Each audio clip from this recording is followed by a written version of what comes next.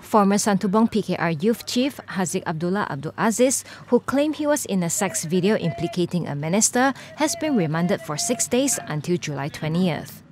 He was remanded on Monday along with five other individuals, two of whom are also PKR members, to facilitate police investigations under Section 377B of the Penal Code for carnal intercourse against the order of nature and Section 292A of the Penal Code for distributing obscene material. Bukit Aman CID Director Commissioner Dato Huzir Mohamed, who is leading the special task force investigating the case, said the six were detained on Sunday night. It was reported that five mobile phones and SIM cards were also seized.